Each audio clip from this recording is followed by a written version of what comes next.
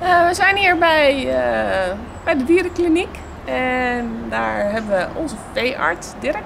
En die gaat zo meteen sterren behandelen omdat zij een eh geïrriteerd hoefgewrichtje heeft en dat gaan jullie nu zien. Nou, Ster krijgt nu dus een echte prik. En wordt zo rustig. Het is een beetje wild vandaag. Door alle ezels en andere paardjes. En dan zometeen stort ze waarschijnlijk in elkaar en gaan de oortjes opzij. Dat hopen we dan. Ze wordt eerst schoongemaakt. Gisteren hadden we roze spul, vandaag oranje. En Ster wordt al rustiger. Ze is nog niet helemaal happy, maar dat komt wel. Dier, oh, dit is onze dierenarts. Die gaat nu, eh Dirk, die gaat nu allemaal eh, spullen klaarleggen. En wat ga je dan doen? Ze krijgt eh, ontstekingsremmers en een beetje kunstmatige vulmiddel in de hoefgewricht. En hopen dat ze daarna minder pijn in de voetje heeft. En dan vier weken stappen had je gezegd. Ja, vier weken rustig aan doen. En dan is het over. Dan is het als het goed is over. Ja. Het zag er allemaal goed uit op de foto's, dus ik ben niet bang dat het eh, heel veel meer is dan een simpele verstuiving. Oké, wat fijn. Kijk, Ster is inmiddels helemaal de weg kwijt. Die vindt elke stap nu wel een dingetje.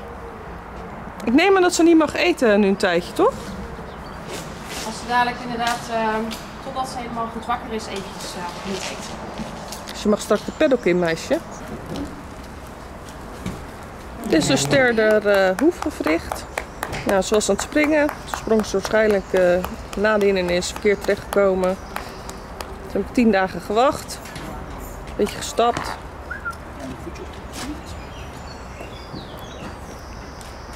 En eh, toen was het nog niet over, dus toen zijn we naar eh, de dierenarts gegaan. Onze eigen dierenarts. Ik hoefde niet helemaal naar Utrecht dit keer. Dus dat was wel fijn. Nu krijgt ze spul ingespoten. Nee. Vindt ze niet zo leuk.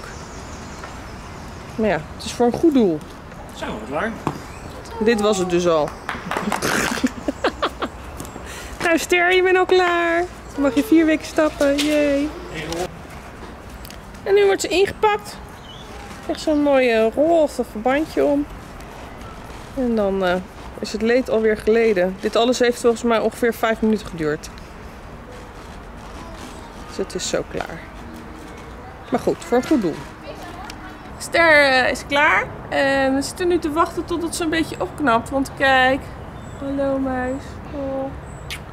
Ze is helemaal, ze is natuurlijk een beetje verdoofd. Maar omdat het zo'n ongelooflijke coole pony is, duurt het even voordat ze er weer uit is. Ja, zo kan ik haar natuurlijk niet op de trailer zetten. Dus nu eh, wachten we op ons gemakje. En eh, gaan we zo lekker naar huis. Dan vier weken stappen. En dan eh, mogen we dus weer, mag ze weer gaan rijden.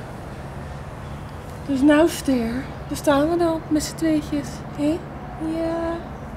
Oh, nou, er komt weer beweging in. Dat is wel heel wat. Net bewoog ze echt helemaal nergens van. Eh, ik hoop dat je dit toch een beetje een leerzame video vond. Zodat je een beetje weet wat er gebeurt als je hoefgewricht dus geïrriteerd is. Wat daar dan een behandelmethode voor zou kunnen zijn. Eh, er zijn natuurlijk meerdere beha- behandelmethodes, maar deze is waar ik voor gekozen had. Ik had er ook voor kunnen kiezen om eh, gelijk aan de antibiotica te gaan en eh, rustig even te stappen. Maar ik wilde heel graag precies weten wat er aan de hand was en ik wilde ook gewoon dat het goed uitgezocht werd.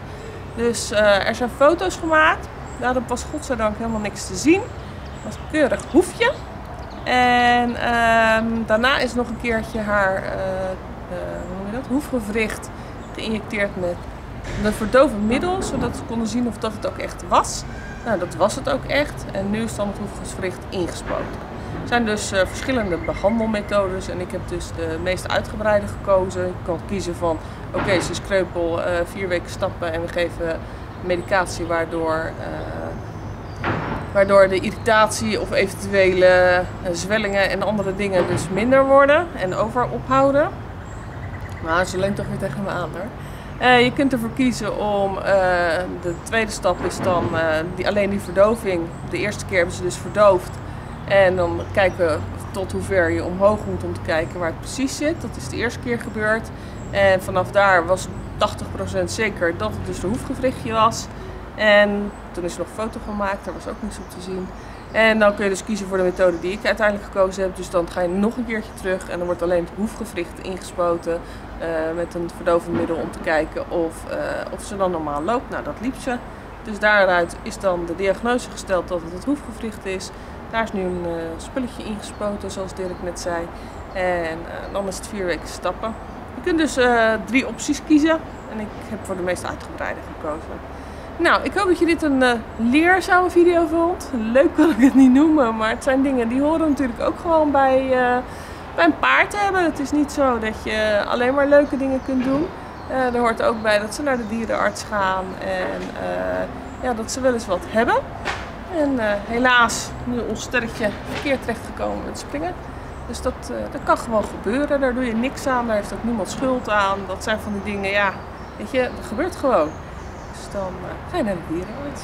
Of veearts moet ik eigenlijk zeggen. Want dierenarts is volgens mij voor kleine dieren en veearts voor grote dieren. Dus bedankt voor het kijken en ik zie je graag bij een volgende video. Doeg!